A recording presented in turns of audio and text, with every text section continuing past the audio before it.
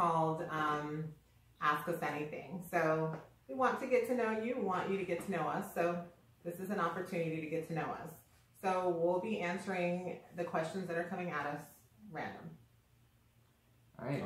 So, first question What is the best part about being together? Good Just get to question. wake up to you. God, you're Oh. so extra. You know, I, I, I mean, I truly hope you mean it, but that's really funny. I love the way that you said that. Um, that's really sweet. I don't think I can top that. Yes! Finally, nine Um, years and I got it. um, and on my camera. I got that on camera. that's really, really, um, that's really a good You answer. saw I threw out fast. You definitely got some cool points on that one. Um, that's a great question. I would really, I t- we talk about this all the time. I would have to say, um, the same thing. Like, I have never been so like happy and so um consistent in a relationship with the way that I feel and and How easy it just feels. it's yeah, it's just easy. Like we've always naturally flows. it does, and we've always been that way um, since we've been together. I mean, literally since the first day that we've met, we've probably only been apart one or two days max um, in, in all of nine years, I think. And I think it comes from us really just enjoying each other's company, and you know, and they say opposites attract. I mean, cause we're two, we're opposites. yeah, two totally different backgrounds, Yeah. history, like everything. Yeah. So I would have to say the same thing. Just waking up to you and being with you every day, and we we've gone through hard times just like everybody else. Like it's a really tough time now, and and we're not distraught. We're not stressed. It- you know, we've spent a lot. You know, we, we look at the brighter side of things. I posted it even on my Facebook thing on my Facebook page. Um, just about hanging out and spending more quality time. So we truly, honestly, just like being together. So I think that's that's that. That was it. All right. Uh, what kind of things do you do that annoys the others? Oh my gosh. I think she does annoy me. Yeah, both of us. We don't have ten minutes. Hey, hey, hey. Well, I'm gonna go first while you think about your list. Number one. Well, I can tell you. I can tell you what I can tell you what your answer is. One thing that you hate is You can't What? answer for me.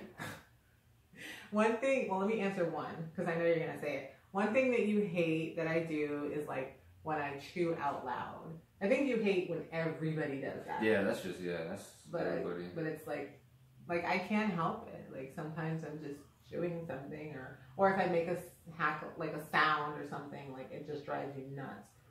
But anyway, you can answer. See, no answer for me. What? What's your answer? See, I can't think of one. Okay. Cool points again. Yeah, right. You totally have like so many things that you probably. Daddy, I want donuts.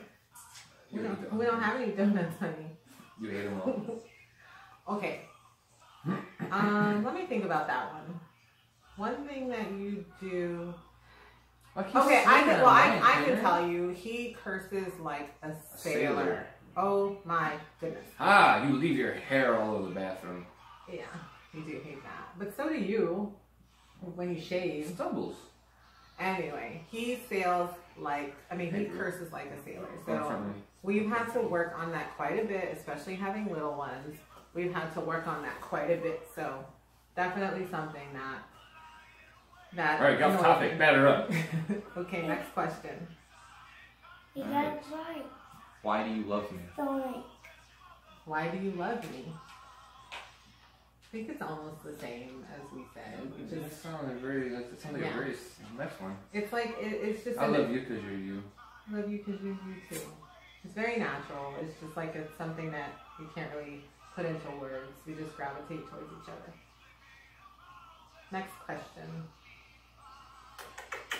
It's all love. It's all love in here. So, next question. Um, what's the best part about waking up next to each other? This is the Exact question. We have to stop this and rewind it to prove it. well, I think um, I can answer that question in a different way. The best part about waking up to each other Soldiers in your is waking up. I think with the kids, with the fam- waking up to a family and a, a you know a constant situation that we wake up to love. You know, like we we sometimes are like they drive us crazy, but we love them. We we have fun with them. Like they make us laugh. They get on our nerves, but I think the best part for us is is spending time with our kids. That's what we love waking up to every day. I gotta turn that down, baby. We're filming. Next question: Are you happy with the intimacy you share? Good question. That is a good question. And I'm going to be honest, peeps. I'm not going to leave anything out. And um, honestly, I, you know, you're a very affectionate person in your own way. I would have to say that when you're when you're with somebody after a long time, um, I don't want to say we don't try as hard. I just think that we know that we love each other, but you know, we I, it's really important that we try not to neglect each other. But I, I would have to say that I think. Can you turn that down, Andrew? Turn it down, or I'm going to turn it down for you. No. Um, Look. Yeah. You want to show the peeps what you're watching? You're watching Sonic. Yeah, I That's watched copyrighted, you. so uh, let's uh, put that All down. right, go sit down. Happy, happy, Junior. You wanna kick the thing? All right. This is dead air, man. Dead air. Let's go. So, um, wait, what was the question? Exactly. Get this child out of here. What was the question? Uh, the question was, uh, the question was, um, I forgot. Um, were you, are you happy with the intimacy you share? Yes, the short answer is yes. Now, would we benefit from a couple of more, you know, romantic nights alone? Absolutely. We do try to get out. We haven't really done date night as much because we started a business last year. So we've been really, really busy and we get, you know, and our schedules are crazy. But um, what I think this experience right now with the coronavirus and quarantine is teaching me is that, man, you, have to make that uh, a priority in your relationship. Because Don and I have been talking a lot more. You know, we've been having like in- intimate conversations, and to me, that's intimacy. To me, that's It's intimacy. driving me nuts. So, um, so yeah. Next question. I told you this question. What soothes you the most on like a bad day? You know, how do you guys help each other? Listen to each other. We talk it out. John's a good listener. As you can tell, I don't talk too much. Yeah, I'm the talker, obviously. He's a good listener. Um, he's always been a good listener. Dega.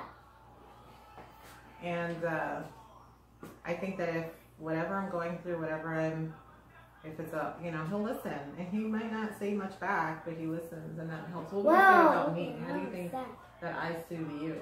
Like By you know, talking. By me talking? Mm-hmm. Okay. Okay.